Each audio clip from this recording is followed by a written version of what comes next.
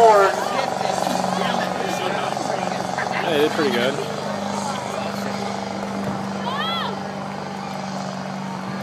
I feel better.